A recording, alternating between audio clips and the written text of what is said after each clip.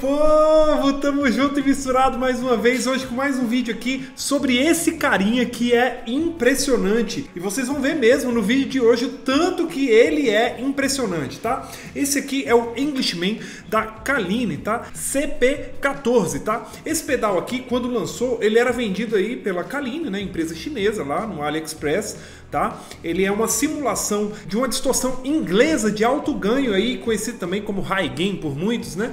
É, e quando a gente fala inglesa, a gente já lembra logo dos clássicos, né? Ingleses que são o Marshall e o Vox, tá? Esse aqui ele tem uma característica bem maior da Marshall mesmo, tá? Apesar da similar, similaridade aí entre essas marcas, né? Mas aquele som um pouco mais gordo, um som bem cheio e um som de distorção mesmo, legal aí dos anos 70, 80. Por esse motivo aí no review você vai ver que eu toquei mais música antiga aí. Ele é um pedal que eu não sou muito adepto assim em, é, em uso de forma geral, porque eu uso muito pouco distorção no estilo que eu toco. Mas é sempre bom ter um e afinal de contas esse aqui é uma ótima opção, por não ser uma opção tão cara, já que eu falei de valor aqui, né? Ele tá aí por cerca de 250, você consegue achar no Mercado Livre, no AliExpress. Ele aparece, depois some, aparece, depois some, por ser um pedal que provavelmente é muito vendido, certo?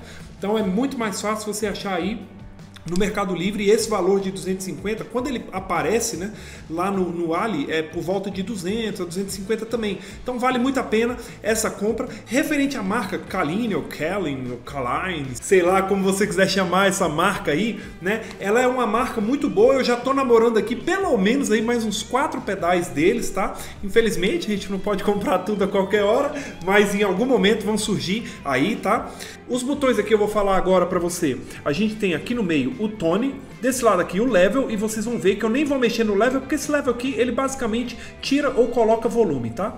Tone, e por último aqui o ganho, que seria o nível que você vai distorcer né, o seu som beleza? Então eu vou, eu vou sair de músicas aí com nível pequeno, porém aqui por ser uma distorção de high gain, ele já vai estar tá bastante distorcido para muitos, né? É, como eu aqui, que não tem esse costume de usar distorção, até o alto ganho aí você vai ver que eu fiz vários testes com várias músicas diferentes para a gente ter essa noção. Infelizmente eu tive que testar no extrato, não que seja infelizmente, mas é que não é a guitarra que eu costumo usar as distorções. Eu procuro usar aqui ou na, na, captação P90 ou em alguma guitarra com captação dupla, né? Quando eu vou fazer algum trabalho de gravação ou coisa do tipo, tá? Porém tá aí com o extrato para vocês, certo? Vamos começar com o clean. Vocês vão ver que meu clean aí eu estou usando uma simulação de Vox e eu já puxei ele bastante pro grave, até para chegar aquele som de poder mesmo de rock and roll quando colocar aí a distorção, beleza? E depois eu uso as cinco configurações, vocês vão ver agora. Vamos lá.